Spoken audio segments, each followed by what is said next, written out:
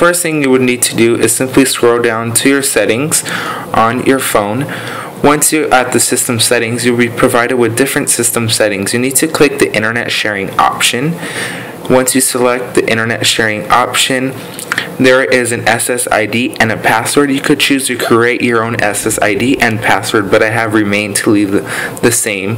And once you simply turn on the internet sharing, you have to make sure you have a data connection on your phone. Either it could be 3G or 4G once you have that data sharing on, you need to be on T-Mobile's at least $50 a month plan in order to get the sharing. If you're on the $38 a month plan, there's a trick which I'll show in my next video. So once you have this simply turned on, you need to head up to a Wi-Fi enabled device and simply enter the SSID and password. So once you have you found your SSID, you need to simply connect to the SSID or network name.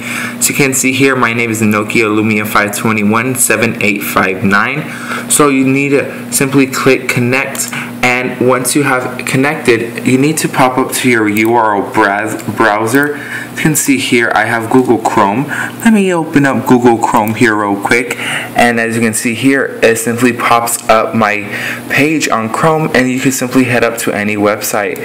So for here, I'm to go in Techno Buffalo and it brings up Techno Buffalo. It's fairly fast on the HSPA Plus, so you simply need to check your speeds. If you want to see how fast your speeds are, simply go on speedtest.net and as you can see here it's going to bring up the speed test application. As you can see here loaded. Let's do a quick speed test. And this is the speeds that you'll be getting for the HSPA plus depending on your area. The fastest speeds I have expected or seen is up to 14 megabits a second and a 2 megabit upload as you can see here it's running running the ping right now. As you can see the ping varies. It's a little high. It's at 2 megabits for okay as you can see there that's the speed right there. And it's not one of the fastest but it's great in the area I am right now it's faster than my home DSL connection so I'm glad for the speeds that I'm getting right now. I have nothing really to say about it.